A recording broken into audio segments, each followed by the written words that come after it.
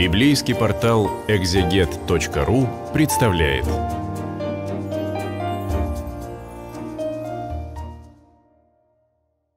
На библейском портале «Экзегет» мы приближаемся к завершению чтения книги «Премудростей Соломоновых», глава 18, предпоследняя.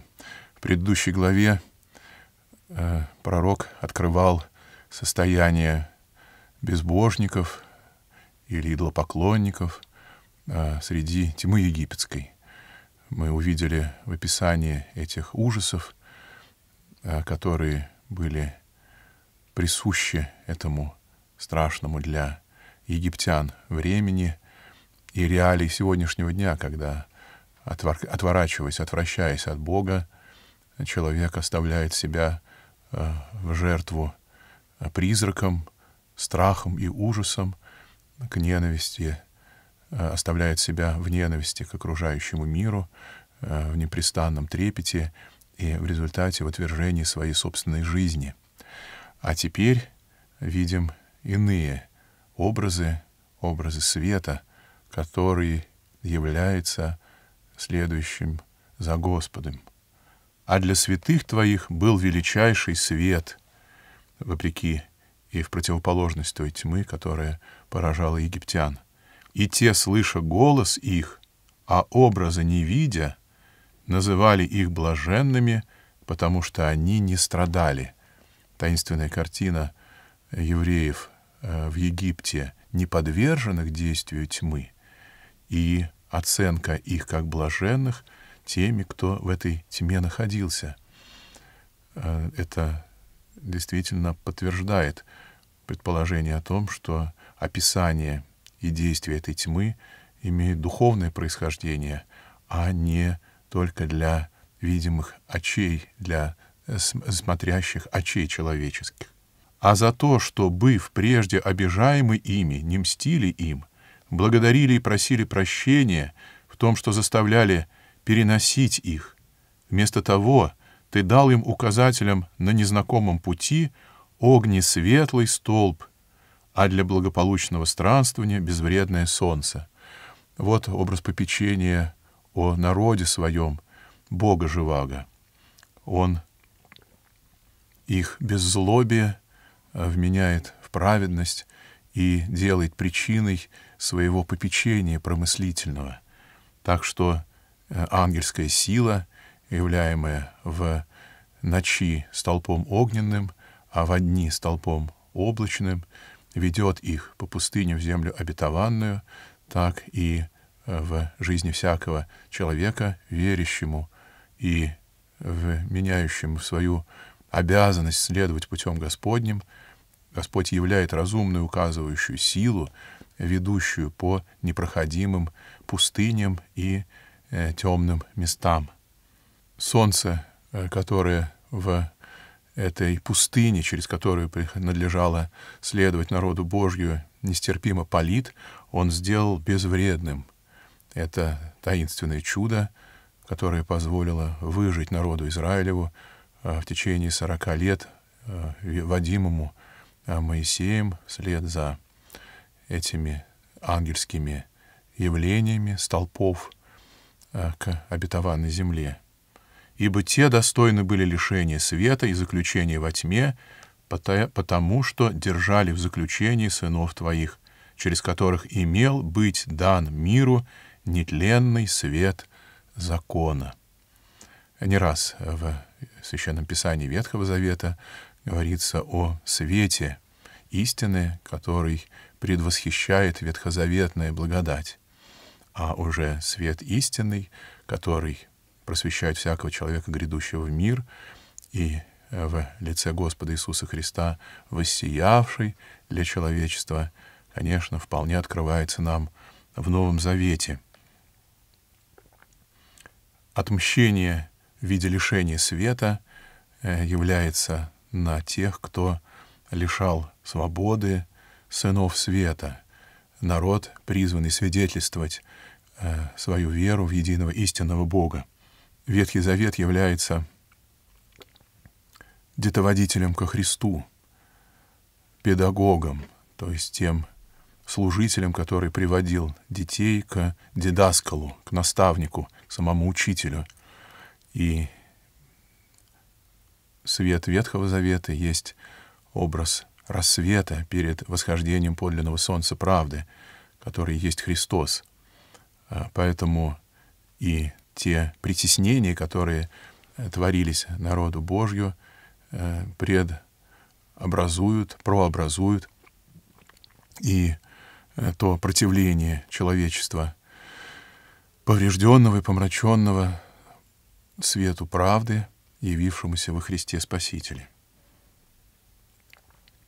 Когда определили они избить детей святых, хотя одного сына покинутого и спасли, в наказание за то ты отнял множество их детей и самих всех погубил в сильной воде. Немало образов в этой одной фразе заключается. Здесь переходит пророк к описанию следующего э, за тьмой э, наказания после тьмы египетской э, последние э, наказания, которое уже потрясло окончательно э, сопротивление фараона, это умерщвление младенцев, первенцев египетских, которое тоже свершилось в ночи. За то, что некогда египетский фараон потребовал убивать детей мужеского пола, израильтян, которые рождались в его царстве, то и их первенцам и младенцам египетским было определено Богом э, быть умерщвленным, ангелом-губителем. Упоминает э, пророк о одном спасшемся, указывая на Моисея, не для того, чтобы э, представить беспощадность египтян э, несовершенный, а для того, чтобы явить могущество Божие, которое даже посреди э, совершенной ненависти и насилия, э, созданного и устроенного людьми, тем не менее э, являет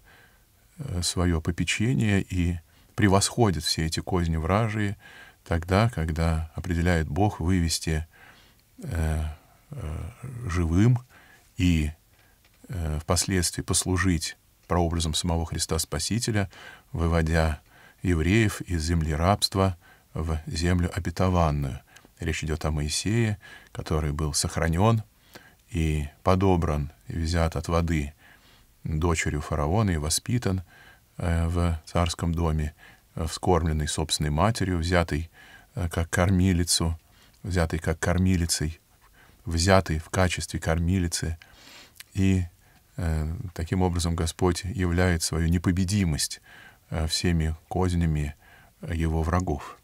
Та ночь была предвозвещена отцам нашим, дабы они, твердо зная обетование, каким веровали, были благодушны.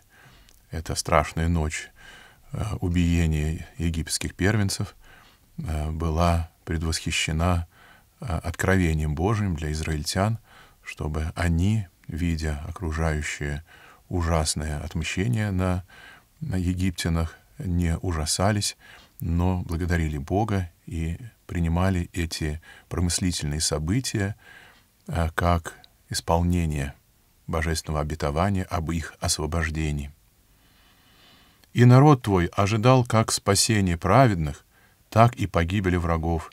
Ибо чем ты наказывал врагов, тем самым возвеличил нас, которых ты призвал.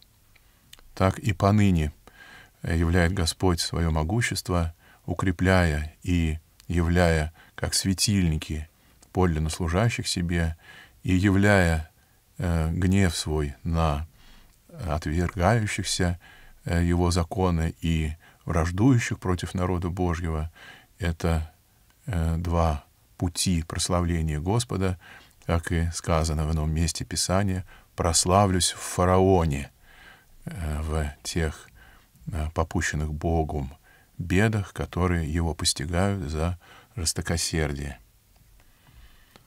Святые дети добрых тайно совершали жертвоприношения и единомысленно постановили божественным законом, чтобы святые равно участвовали в одних и тех же благах и опасностях, когда отцы уже воспевали хвалы.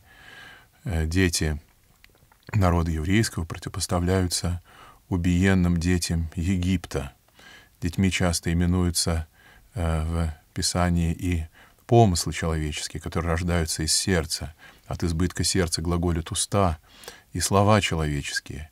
Они, э, служащие к прославлению Господа, свидетельствуют о добром корне их произведшем, сердце разумном.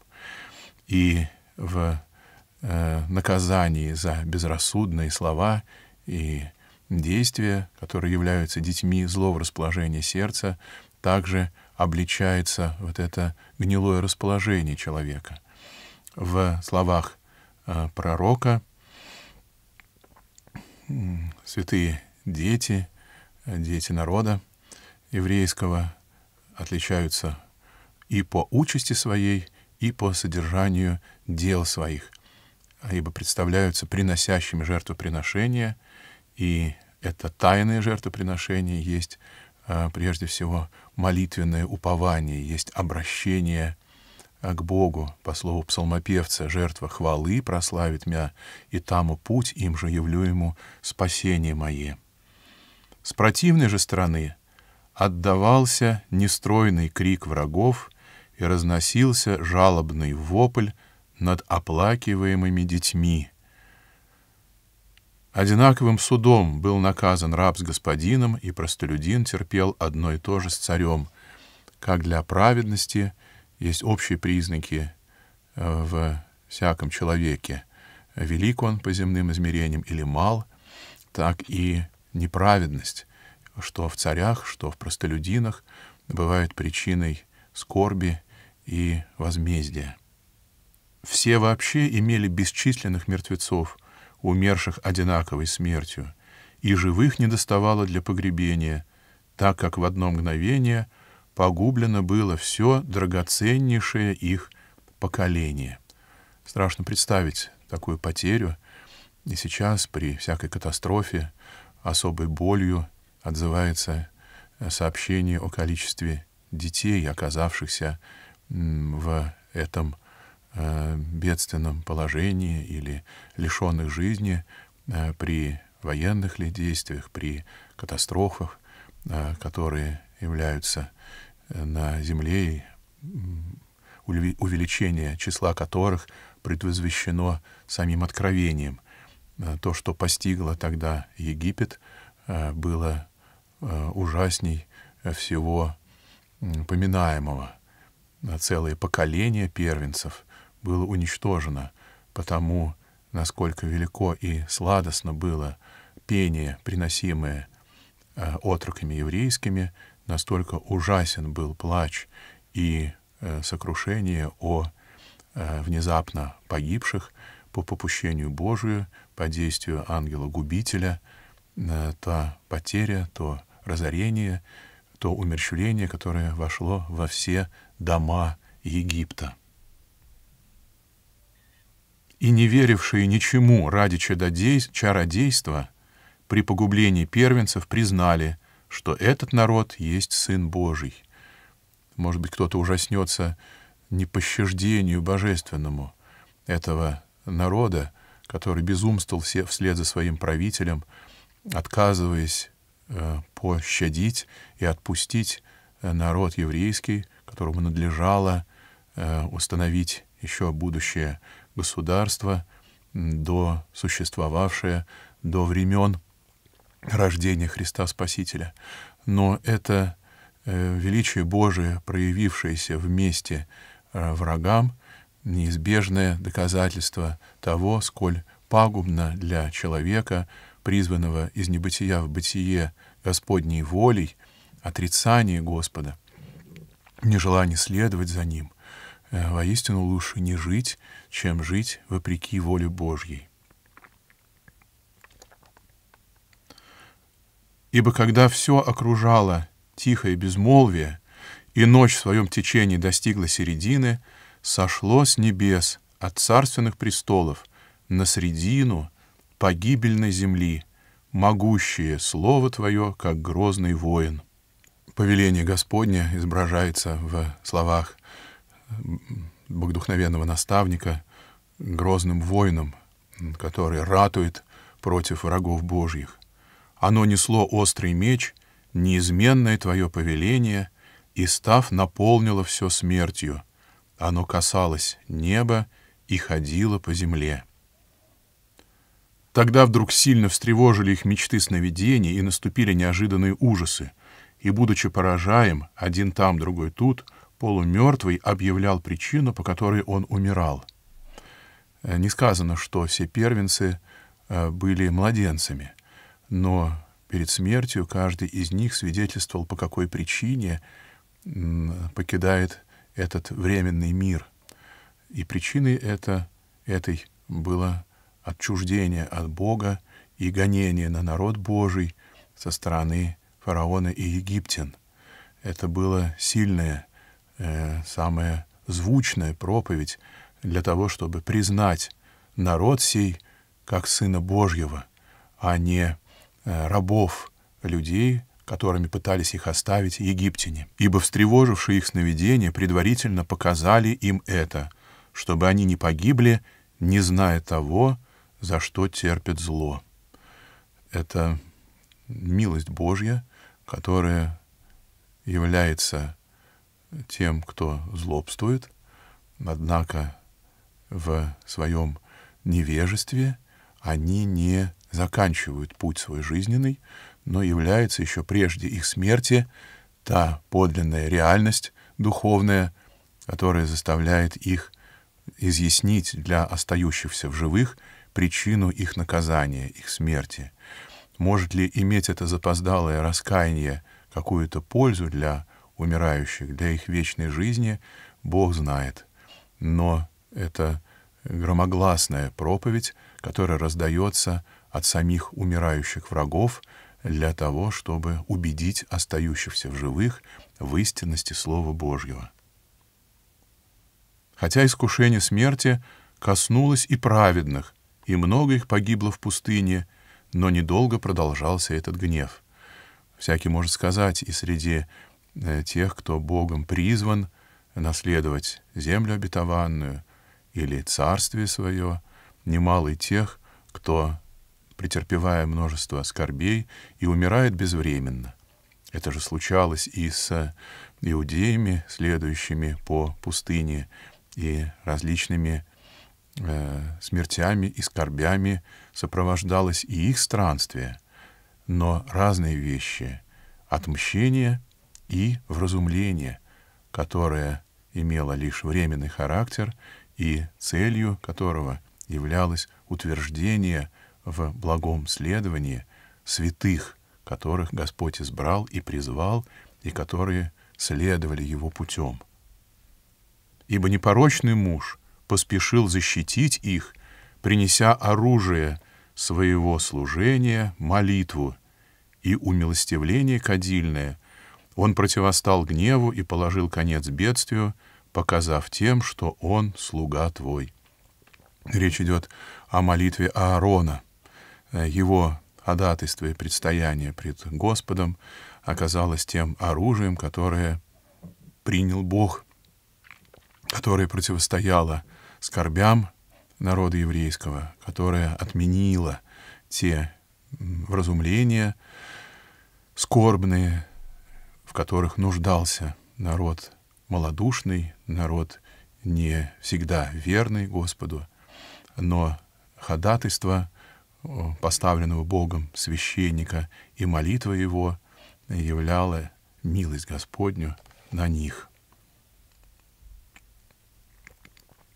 непорочным называется Аарон по причине того священного служения, э, которое, которому оказался призван.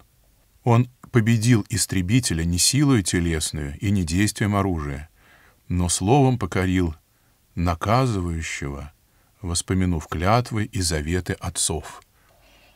Не хочешь быть наказуем от Господа, полюбви Его, но, опасаясь понести а точнее не понести эти жесткие вразумления, молись вместе с псалмопевцем, накажи меня, обаче, Господи, милостями Твоими, щедротами, а не скорбями и потерями. Хочешь не претерпевать невыносимых для тебя скорбей, обратись, как некогда обратился Аарон к Богу за народ еврейский, воспомянув клятвы и заветы отцов, то, чем заклинали нас, то, чем наставляли нас бывшие прежде нас праведники, и те э, заповеди, которые установили для нас ради шествия за Господом, воспомини и представь Богу, как Его собственные э, знаки и обетование милости для тех, кто кается пред Ним и призывает помощь Его. Ибо когда уже грудами лежали мертвые одни на других, Он, став в середине, остановил гнев и пресек ему путь к живым.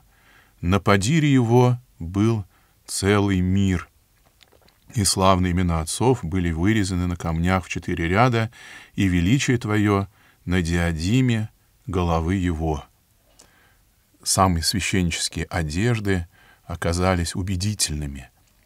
Это образ и последующей церкви, где э, установленные святыми отцами по велению Духа таинства церковные, где священные облачения и действия оказываются примирительными для Господа, оказываются привлекающим Его благодати силу.